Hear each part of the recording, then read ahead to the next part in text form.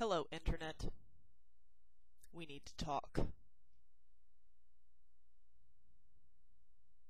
You left me all alone for a week and a half, not being able to compute, not being able to check my YouTube account, not being able to complain on my crappy webcam,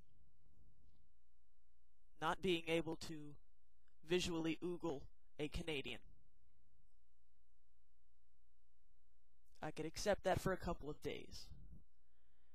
In fact, I was going to thank you, Internet. I had become too attached to you. So I started watching TV again. It was nice for a while, but then it started to make me cry. Why? Because, Internet, you left me hanging. This is what I've been watching. Car commercials with techno beats in the background.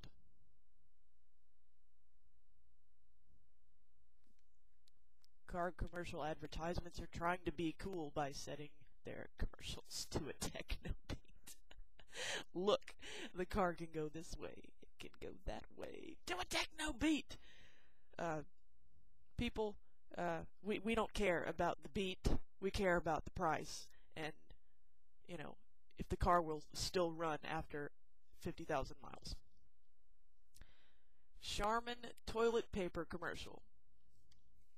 I get your concept, Charmin. Uh, does a bear shit in the woods? Yes, it does. But we don't care about cartoon bears that have flecks of toilet paper stuck to their anus. Cha cha cha. Let's see what else. The Snuggie Corporation, putting out more Snuggies in crazy cool patterns. And now they've got Snuggies for dogs. I blame you, Internet. I wouldn't have had to watch that shit if you were here, but you weren't here, man. That stupid ass above the influence commercial with the girl who gets too stoned at a party and the, her friends paint her face and put strings on her wrists, and she's a oh look, she's a passed out marionette. okay, um,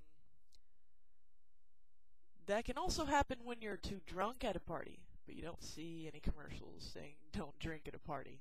You only see commercials that say don't drink and drive. Not too many please don't smoke cigarettes, kids commercials. Just kids don't smoke marijuana commercials.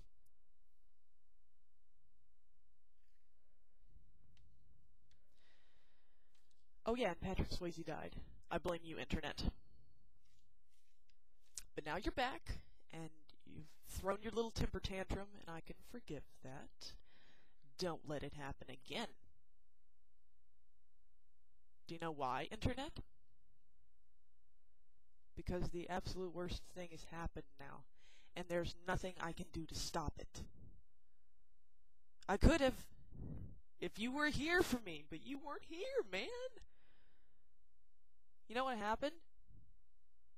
Nathan Forst has a Twitter account.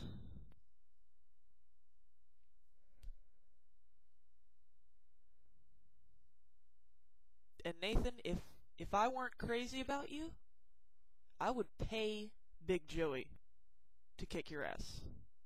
He doesn't like Twitter either.